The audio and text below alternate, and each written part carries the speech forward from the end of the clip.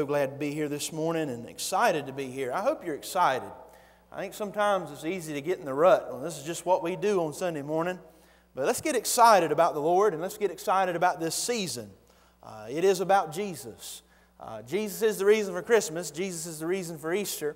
And uh, we're certainly glad to be here this morning. Uh, Luke chapter 19, if you have your, your Bibles with you. And um, it has been an interesting week uh, filled with all kinds of ups and downs for me.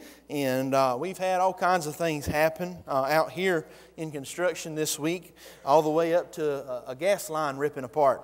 And uh, so uh, when you're sitting in the office and a guy comes storming in the office, hey, shut it off, shut it off, shut. I'm thinking something's going on. Have we lost half of our church? And, uh, but yeah, he, he ruptured a gas line and and so it's been pretty eventful this week, and uh, left and right. I do, do appreciate uh, Brother Bobby being here uh, Wednesday night for me. Uh, I, I have made the promise you will not find me out of this pulpit anytime soon. I'm here to stay. And uh, so I just wanted to let everybody know I, I, do appreciate him in his absence being here. I'm told the service was wonderful. Uh, Luke chapter 19 tonight, Luke chapter 19 in verse 29. Uh, of course, this is Palm Sunday, and uh, Palm Sunday is the day that we uh, understand, and most uh, historians and scholars say that uh, this was the day that Jesus rode out upon uh, a young donkey unto the city and was welcomed as a king, as the king that he truly was. And we understand that this is the week, the Passion Week, as we get forward to Good Friday and remember what Jesus did on the cross. And we'll be talking more about that next week. And uh, we'll be talking about the cross and sunrise service, and we'll be talking about the resurrection in our Sunday morning service next week. And uh, so we're looking forward to a great uh, worship service next week. But today, I hope you've come with your cups up. Ready to get what God wants you to get today. Uh, Luke chapter 19, we're going to look at verses 29 there. And you can find this account uh, also in the uh, Gospel of Matthew and Mark as well. And so I've kind of pulled a little bit from all of those accounts. But we're going to look today uh, here in Luke chapter 19 and verse 29. The Bible says, and, and it came to pass when he was come nigh to Bethphage and Bethany at the mount called of Olives, he sent two of his disciples, saying, Go ye into the village over against you, in which at your entering ye shall find a colt tied, and what well, was a young donkey, uh, wherein yet a never a man sat. Loose him and bring him hither. And if any man ask you, Why do ye loose him? Thus shall ye say unto him, Because the Lord hath need of him. And they that were sent went their way and found even as he had said unto them. And as they were loosing the colt, and the owners thereof said unto them, Why loose ye the colt? And they said, The Lord hath need of him. And they, caught, they brought him to Jesus, and they cast their garments upon the colt, and they set Jesus thereon. And as he went, they spread their clothes in the way, and, and when the, he was come nigh, even uh, now to the descent of the Mount of Olives, the whole multitude of disciples began to rejoice and praise God with a loud voice for the mighty works they had, had seen, saying, Blessed be the King that cometh in the name of the Lord, peace in heaven and glory in the highest. And some of the Pharisees and among the multitude said unto him, Master, rebuke thy disciples. I love this verse.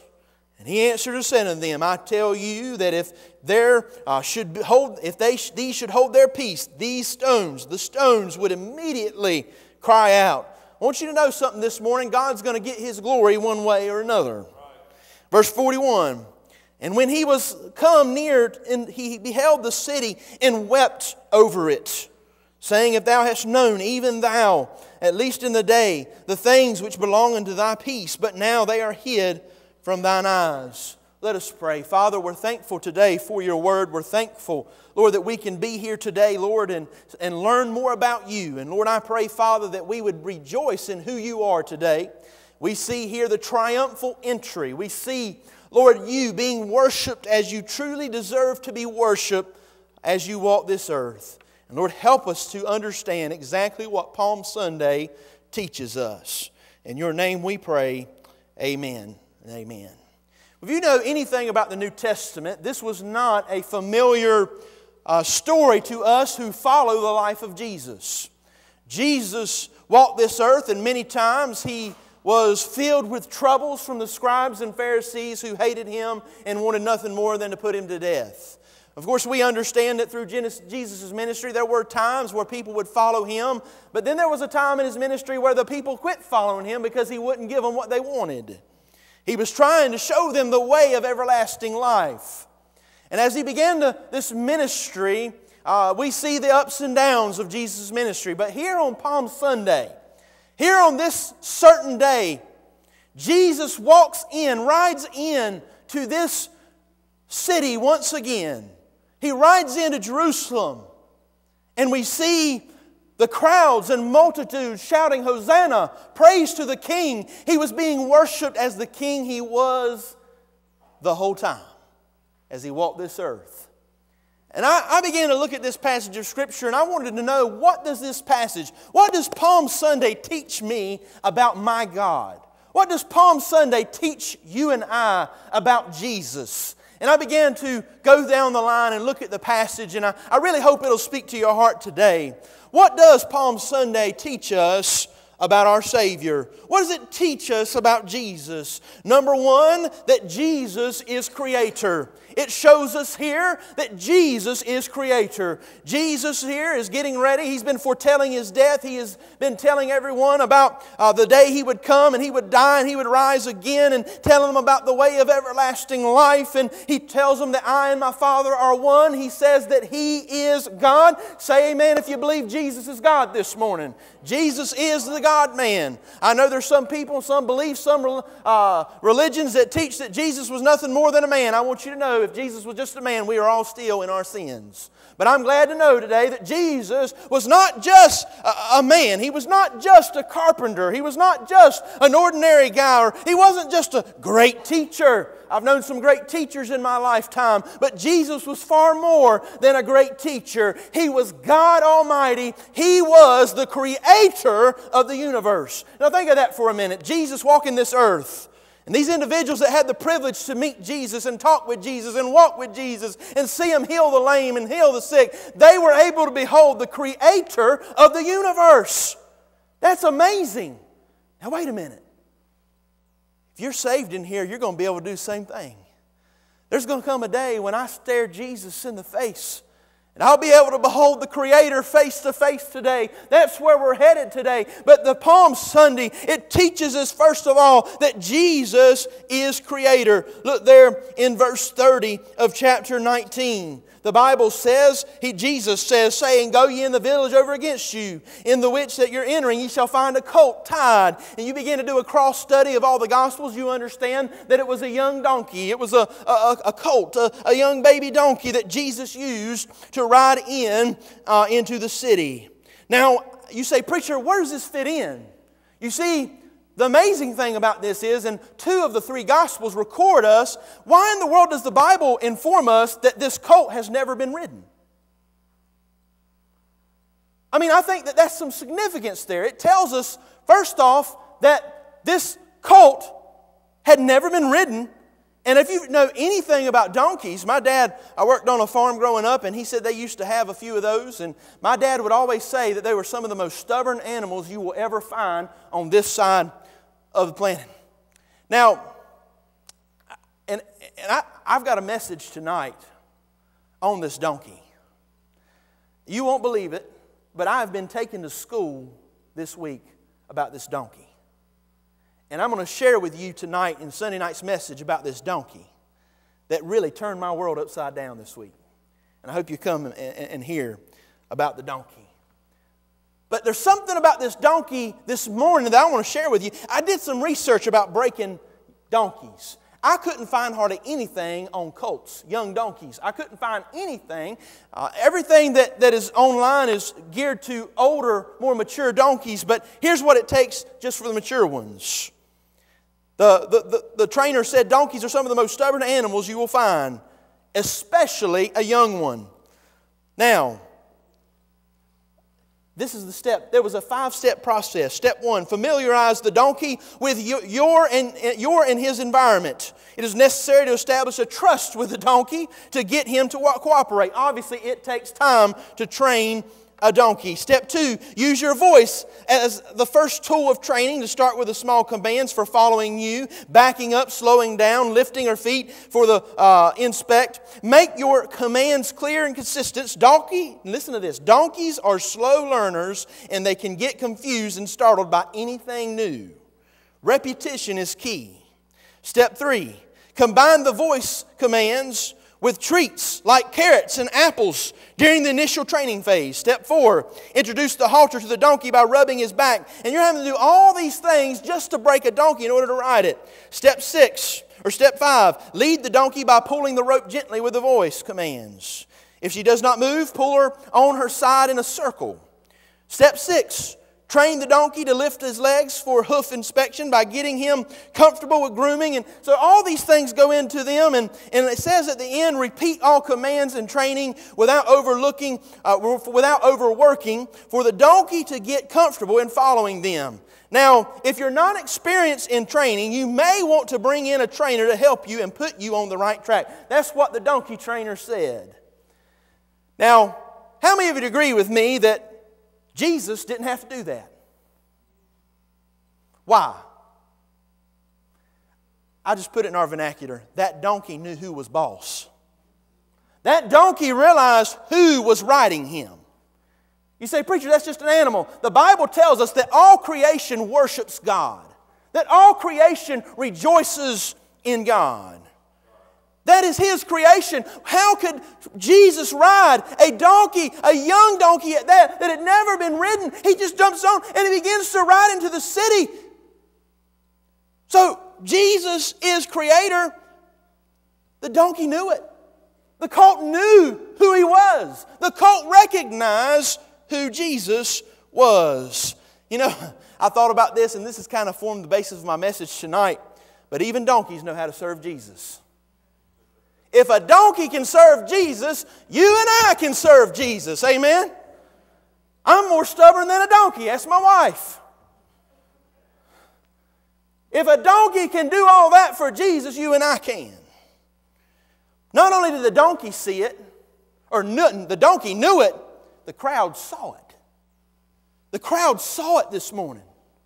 Aren't you thankful this morning that when this crowd looked upon this this story, this passage of scripture that we read this morning, they saw Jesus upon this young colt and he's walking. Could you imagine the fathom? Could you imagine many of them? They're looking at this and they've never seen anything like this before. It's a young donkey. Jesus is creator this morning. The donkey knew it and the crowd saw it. This morning we know from Palm Sunday that Jesus is the creator of the universe. But then we see, nextly, that Jesus is king. Palm Sunday, what does it teach us? It teaches us not only that Jesus is creator, but that Jesus this morning is king. Look at this passage of Scripture with me. You look there in verse 35 through 38. The Bible tells us that Jesus, they put the, the disciples put their clothes upon the donkey, and Jesus got upon the donkey, and then the people, and if you if you look there in the scripture, and I think I, I may have even got it here, uh, Jesus here is honored as king. Jesus is honored as king. We see it here. We see the very picture of them laying palm leaves upon the ground, laying their own garments upon the ground as Jesus made his way through the city, all those things speak to the fact that they realized that Jesus was king. I want you to understand this morning Jesus is king. He is King of kings and Lord of lords. Mark chapter 11 and verses 8 through 9. The Bible tells us, and many spread their garments in the way, and others cut down branches off of the trees and strawed them in the way. And they that went before and they that followed cried, saying, Hosanna, blessed is he that cometh in the name of the Lord. We see that he is not only honored as king, but we see that he is praised as king. He's praised as king. What does Palm Sunday teach us? It teaches we ought to have a little praise for our king this morning. We ought to be praising him for being who he is in the seat that he sits upon this morning, the throne of the universe. Are you praising the king this morning? Are you honoring the king this morning? But then we see that he's followed as king. Mark chapter 11, verse 9, that we just read, the word followed means to side with. It means to side with, it means to be on their team. The Bible tells us they followed Jesus as a king. I want to ask you a question. In your life, do you honor, do you praise, and do you follow the king? This morning, your life bears out who is king. You have a king. And you can tell by the way you worship the king this morning. They knew who he was, they knew he was king. This day, Jesus marched in like the king he always was. I think this morning in our lifestyles, we would have to admit sometimes we live the way that tells people around us that we don't believe Jesus is the King of Kings and Lord of Lords. If Jesus is King this morning, we're going to serve Him. If Jesus is King this morning, we're going to obey Him. If Jesus is king this morning, we're going to act like it. Notice the crowd. They were laying their pure clothes out on the floor, out on the road. As Jesus, they were cutting down limb, palm limbs and laying it at his feet. They were acting like Jesus was their king. And this morning it would do us all good to act and live like Jesus really is our king. Jesus is creator, Jesus is king. But we also see in this passage in verse 38, if you'll look there in verse 38, the Bible tells us, saying, Blessed be the King that cometh in the name of the Lord, peace in heaven and glory in the highest. What's so significant about that? Uh, number three, what does Palm Sunday teach you and I? It teaches us that Jesus is Savior. Jesus is Savior. Matthew 21 of the same account in the Gospels in verse 9. And the multitudes that went before and that followed cried, saying, Hosanna, the Son of David! Blessed is he that cometh in the name of the Lord! Hosanna in the highest! When you begin to understand the meaning of Hosanna and you really begin to understand what was taking place here, they claimed Jesus as Savior. They recognized him not only as Creator, they recognized him not only as King, but they recognized him as the coming one the son of David, the one who would come of the line of David and redeem God's people from this world. He would go and pay the price. They recognized him that day as the triumphant king, yes, but also as the triumphant Savior. I want you to understand something this morning. Jesus is Savior. He's the only Savior. The word Hosanna. I was talking to one of the teenagers for a church, and I asked them that they knew what the word Hosanna meant. Anybody know what the word Hosanna means? When they were shouting Hosanna, it was a Hebrew term that means, Lord, save us now. They recognized that Jesus was the Savior. Lord, save us now. They claimed Him as Savior this morning. So we see the crowd claiming Him as Savior, but then we see this morning that the Word affirmed him as Savior. You say, what is this? This passage, many people say Jesus did this to go ahead and accept this praise, and many people say this was kind of a lightning rod to spur on the crucifixion of Christ, and it probably was. We see the Pharisees and the scribes getting upset in this passage, telling Jesus to calm these people down. But the main purpose of this passage of Scripture, believe it or not, was to fulfill Scripture. The Bible says in Zechariah 9 9, to rejoice greatly, O daughter of Zion. Shout, O daughter of Jerusalem. Behold, thy king cometh unto thee. He is just and having salvation, lowly and riding upon a donkey and upon a colt, the foal of a donkey. Notice what the Bible says here in Zechariah. It prophesied that one day Israel's Savior, your Savior, my Savior, would ride into Jerusalem upon a young donkey. If anybody knew Scripture and they saw that, they would understand that Jesus was Savior. The Bible says he would enter having salvation. I'm so glad tonight this morning to know that Jesus is my Savior. I'm so glad tonight that this King, this one that Easter is all about, this morning. He is my Savior, and He can be your Savior this morning. He came to save.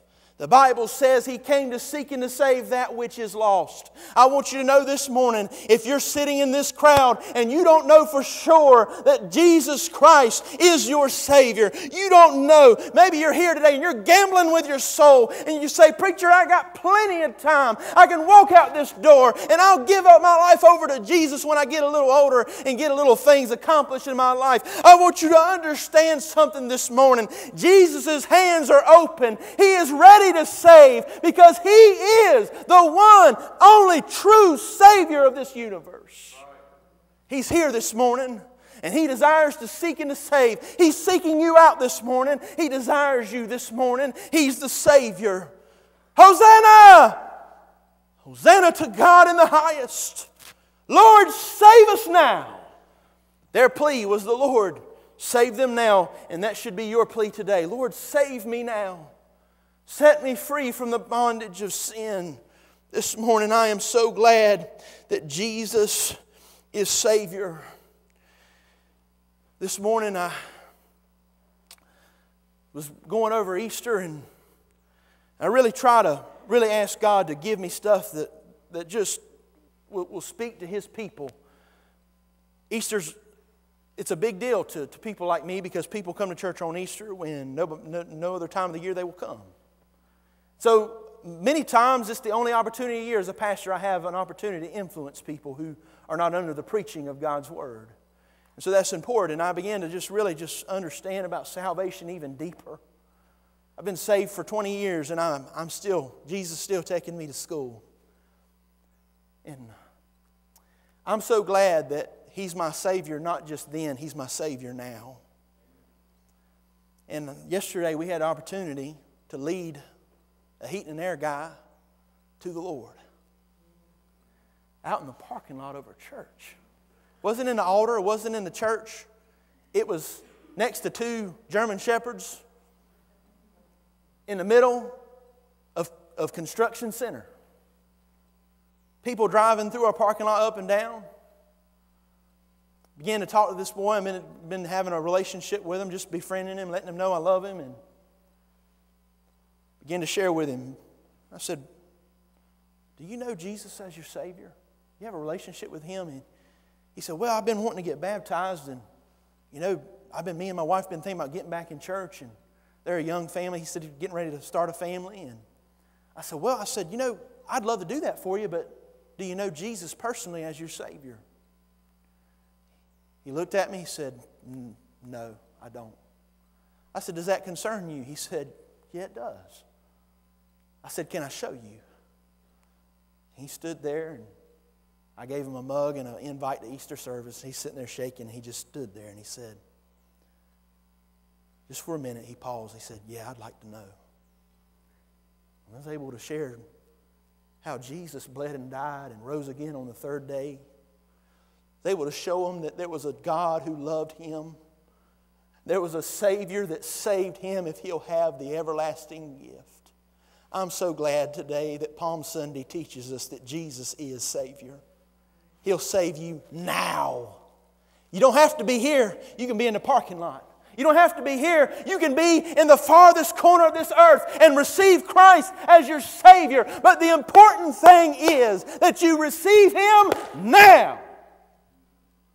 Bible says, Behold, now is the accepted time. This is the day of salvation. You don't know about tomorrow. You don't know about the next week. You don't know about next month. You don't know about when you're 50 or 70 or 60 or 80 years old. But you know about now. Jesus Christ is calling out to you. He says it's time to get saved. Now is your time. He's calling your number this morning. And the best thing you can do on Palm Sunday when Jesus marches in Jerusalem like the King He is and the Savior Savior He is, is to come and bow down to an old fashioned altar and receive Him as your Savior.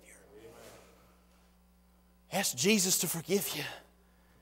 The Bible says He'll no wise cast us aside. His arm's not too short that He cannot save.